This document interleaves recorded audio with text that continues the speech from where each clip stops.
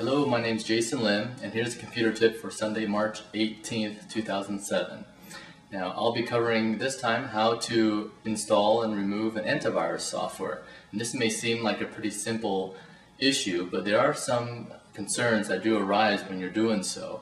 For example, when you're installing any type of virus scanner software, you're going to want to make sure that your system doesn't already have an existing antivirus product installed.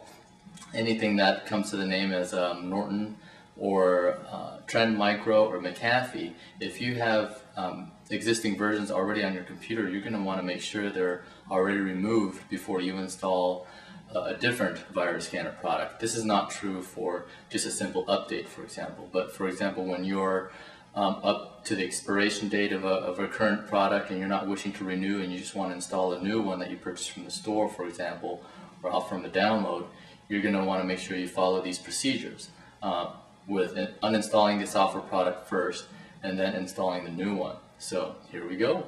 Okay, so here's what we'll do. Um, in order to find out if you've got an existing antivirus product on your computer, you'd hit the Start menu, and I would advise going to the Control panel, which we're going through under the Settings. Here's the Control panel, and we're looking for an icon called uh, Add and Remove Software right here, Add and Remove Program. So we're just double clicking on that, and the window that comes up will list all the programs that are currently installed. So all I'm doing is, is just scrolling down. And I know for a fact on, on my computer here I've got a, a earlier version of McAfee that I'm just going to highlight. And you've got a button here that says remove.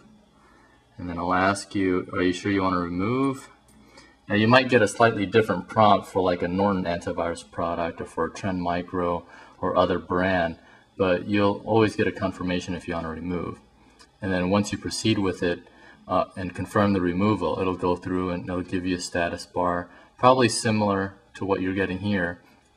And after a minute or two, it'll be removed, and then you can go on and either download the newer version of antivirus that you're going to be using, or you know head off to the store and grab what you want.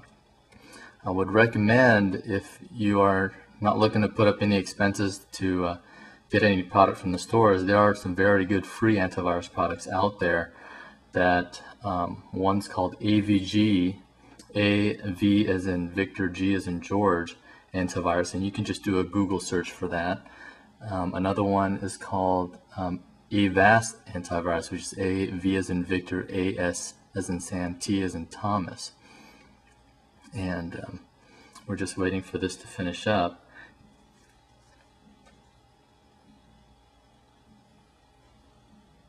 Okay, looks like we're done with the virus scan removal. Now, like most of the other programs that you encounter, once the software is removed, it'll bring you back to the uh, add remove program screen and back to the listing. It'll highlight the next program down. So at this point, uh, to double check, you would go through and, and, check just to make sure you don't have any other virus scan product in there um, and just drop those out, uninstall those if you do.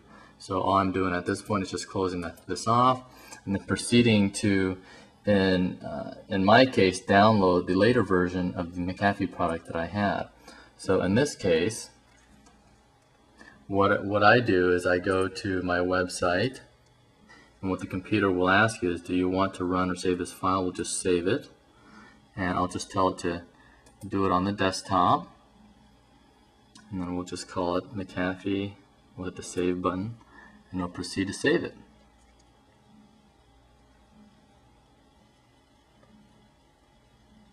Okay, looks like we've just got about 10 more seconds here.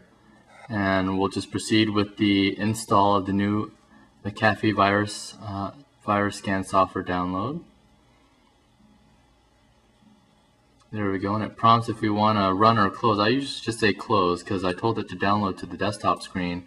I usually like to uh, manually go in and, and run it. So off, I'm back on my desktop screen. There's a start menu. And the icon now for the McAfee is right here.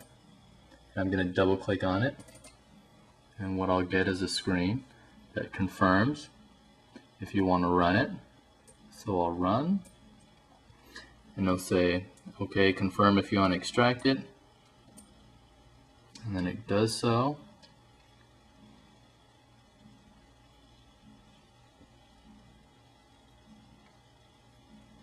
And then it will actually sit here on this screen while it's grinding away for about two to three minutes.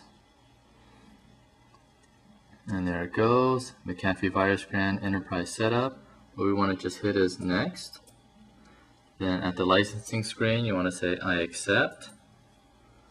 Then hit OK. And then on this screen, you just go ahead and hit Next. This just confirms that it'll be installed on the C drive.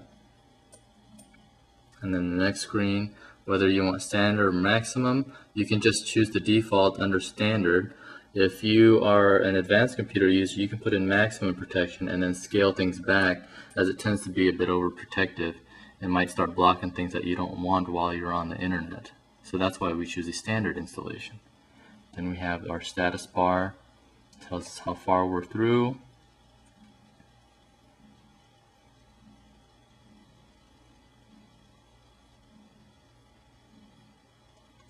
Okay, the installation is pretty much finished. At this point, it's presenting us some options if we want to update now or run the scanner. We'll go ahead and check it to do an update now.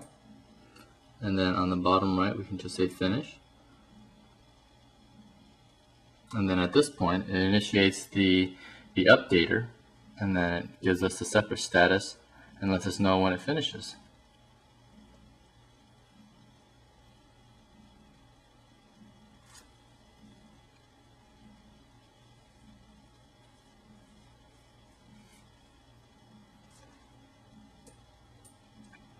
There we go. The update has finished. This and the various uh, previous screens will disappear. And the confirmation that you've got it installed is that on the taskbar, you've got the virus scanner shield right here. And one last item. Now, uh, there's one quick way that you can test to make sure that it is updated is to right mouse click on this icon. You get a menu. You just go to About. You do a left click and then you'll get a screen here that gives you a summary of the software product. What you want to focus on is the entry that says uh, DAT created on, which says March 16, 2007, which is within you know the last couple days, which is perfect. And we just hit OK.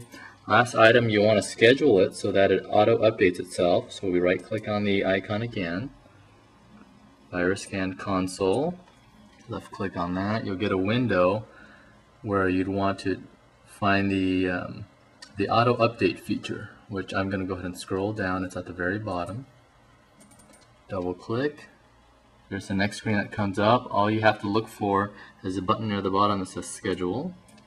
On this next screen, you just want to focus on near the top. There's a check mark that says enable schedule task runs at specific time. So you hit that, and then you just hit apply, and then just hit OK.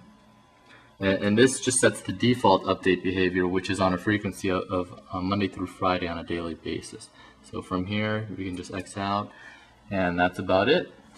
And that concludes this tip about uh, virus scanners and, and how to uh, remove an existing product and install a new one using McAfee uh, virus scanner, for example. If you have any other questions or would like to contact me for some other advice, just feel free to give me a contact and call me on my cell phone or my uh, toll-free number, and that's listed on my website, www.onsite1.com.